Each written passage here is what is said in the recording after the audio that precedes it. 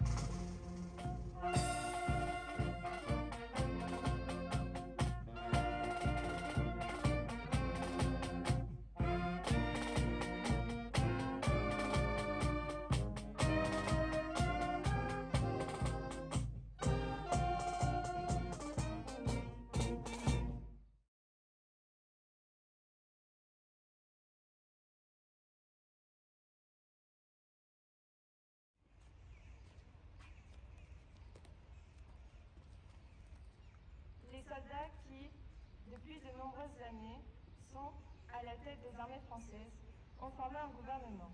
Ce gouvernement, alléguant la défaite de nos armées, s'est mis en rapport avec l'ennemi pour cesser le combat.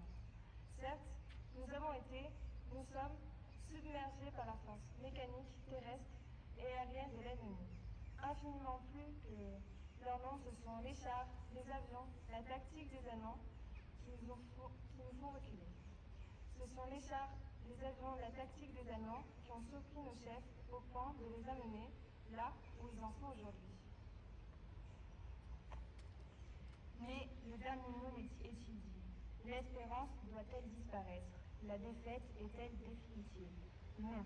Croyez-moi, moi qui vous parle en connaissance de cause, et vous dis que rien n'est perdu pour la France, les mêmes moyens qui nous ont vaincus peuvent faire un jour notre la victoire.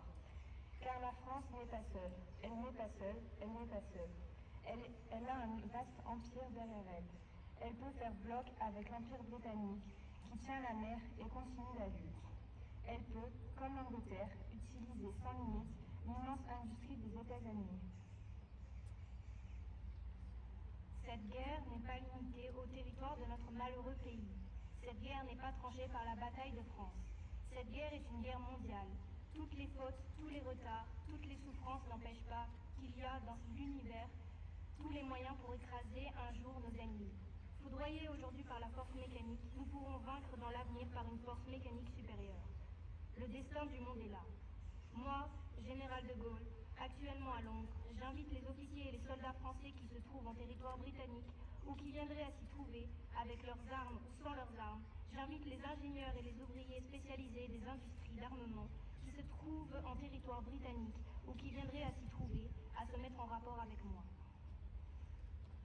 Quoi qu'il arrive, la flamme de la résistance française ne doit pas s'éteindre et ne s'éteindra pas. Demain, comme aujourd'hui, je parlerai à la radio de Londres.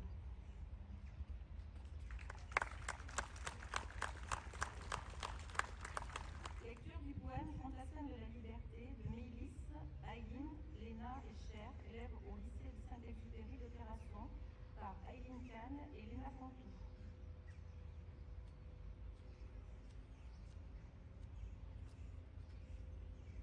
Lorsque nous nous communions avec mes amis, nous nous sommes assis. Observant le paysage au loin, nous nous sommes plus ou moins. Rêvant d'une vie libre, entendant à longue distance le bruit des calibres, le bruit, le bruit des vagues agitées, nous ramène à la réalité. Pour tous nos combattants, pour tous nos résistants, nous nous battons pour notre autonomie et nos droits. Nous nous battons avec sang-froid. Insoucieux des représailles, nous dessinons sur le pont ce détail, la croix de Lorraine comme symbole de délivrance pour être un modèle dans notre France. Mesdames et messieurs les élus, mesdames et messieurs les et membres des associations, mesdames et messieurs, chers amis. La date du 18 juin 1940 figure parmi les dates les plus importantes de notre histoire de France et de notre République. Sans cet acte fondateur de la résistance française, la France n'était plus la France, pays de la grandeur et du génie, pays des lumières et des droits de l'homme. Souvenons-nous, au printemps 1940, au terme de la bataille de France, qui a succédé à la drôle de guerre, le pays est envahi par les Allemands et durement atteint par la force mécanique des équipements militaires de ces derniers, comme par leur tactique de guerre éclair, de pénétration et de destruction. Le maréchal Pétain, à peine nommé chef du gouvernement, appelle le 17 juin à cesser le combat et à demander à l'ennemi la signature d'un armistice. Le même jour, le général de Gaulle arrive à Londres pour négocier avec les Britanniques la poursuite des combats. Après un entretien avec euh, Churchill, il prononce le 18 juin sur les ondes de la BBC son premier discours de résistance où il invite les officiers et les soldats français qui se trouvent en territoire britannique en viendraient à s'y trouver avec leurs armes ou sans leurs armes, les ingénieurs et les ouvriers spécialistes des industries d'armement à se mettre en rapport avec lui pour continuer le combat contre l'Allemagne. Un texte est publié le lendemain dans le Times et dans plusieurs journaux de la presse française, dont le Progrès et le, Matin. Le discours légèrement remanié sera à nouveau prononcé et cette fois enregistré le 22 juin suivant, jour de la signature de l'armistice avec l'Allemagne. Dans son appel, le général de Gaulle pose les questions suivantes. Le dernier mot est-il dit? L'espérance doit-elle disparaître? La défaite est-elle définitive? Non. Par ce nom, il refuse le déshonneur de notre nation, la neutralisation de nos forces et de nos ressources par l'ennemi, le paiement de compensations économiques au régime nazi. Car au nom de quoi, en effet, verse-t-on de l'argent à son agresseur, si ce n'est au nom de la lâcheté et de la soumission? Par ce nom, il refuse le STO, le service du travail obligatoire, par lequel furent réquisitionnés transférés en Allemagne contre leur gré des centaines de milliers de travailleurs français afin de participer à l'effort de guerre allemand. Par ce nom, il refuse la xénophobie et l'antisémitisme, qui donneront lieu à pas moins de 64 lois et décrets ainsi que 10 ordonnances du régime de la collaboration. Ces, décrets allant de l'abrogation du décret de loi du 21 avril 1939, dit loi Marchandeau, contre les insultes raciales l'interdiction d'exercer certaines professions, quasiment toutes les professions, jusqu'aux déchéances de nationalité, autorisation de spoliation des biens, rafle, déportation et internement en camp. Par ce nom, il refuse la dictature de Pétain, la concentration des pouvoirs exécutifs et parlementaires, l'absence de liberté d'expression, la dissolution des confédérations ouvrières et patronales, l'interdiction du droit de grève, les tortures de la milice et de la Gestapo, œuvrant quasi à ciel ouvert en plein centre de la ville de Vichy comme dans d'autres villes françaises. Par ce nom, le général de Gaulle, chef des Français libres, fonde, la résistance intérieure française, dont il dirige depuis longtemps ses agents en métropole occupée.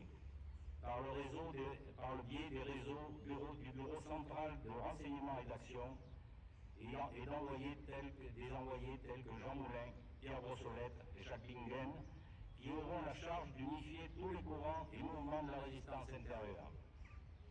Par ce nom, le général de Gaulle rendra, la France, rendra à la France son honneur. Il permettra de créer les conditions de la victoire sur l'ennemi, de rétablir la liberté publique et le régime républicain. Par ce nom, le général de Gaulle demeure le grand homme de notre nation, une source de, de fierté et d'inspiration pour toutes les générations pour tous les citoyens épris de justice et de liberté. Pour cela, nous rendons aujourd'hui hommage à sa personne et à l'appel fondateur du 18 juin 1940. Mesdames et messieurs, cette année encore, je souhaite conclure avec cette phrase extraite du, discours du général de Gaulle. Quoi qu'il arrive, la flamme de la résistance ne doit pas s'éteindre et ne s'éteindra pas. Vive la République, vive la France, vive Théâtre la Dieu, je vous remercie.